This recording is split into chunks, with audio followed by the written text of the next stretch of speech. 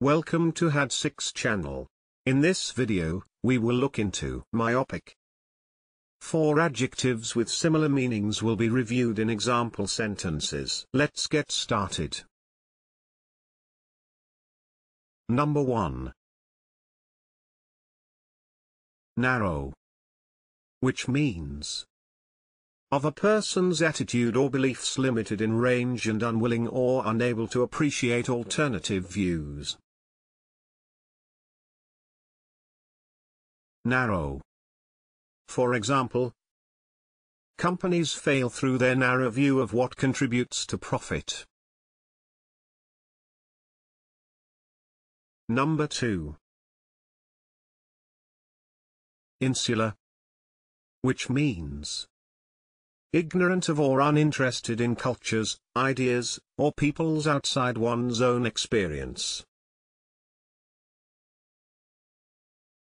Insular. For example, a stubbornly insular farming people. Number 3. Parochial. Which means having a limited or narrow outlook or scope. Parochial. For example, parochial attitudes. Number 4. Narrow-minded. Which means not willing to listen to or tolerate other people's views. narrow-minded.